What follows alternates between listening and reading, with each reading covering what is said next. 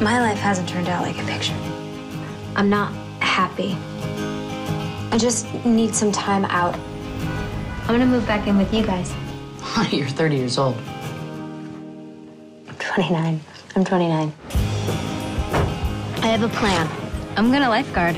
Don't skimp on the cleaning. You have a college degree and you're 30. I'm 29. Be careful. I'm so jealous of you. Me? Why? oh my god, stop it! No running! Because you get to be lost.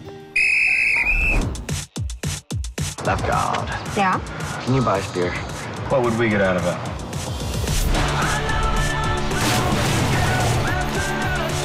It's just Leigh never seemed like the kind of person that would be lost.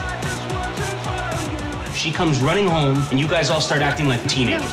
What is wrong with you? You came in at 3 o'clock in the morning. You're my friend, and I let you suck me down this rabbit hole.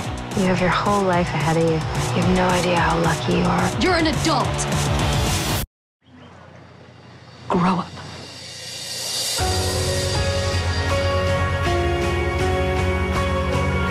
What's gonna happen? You're asking me?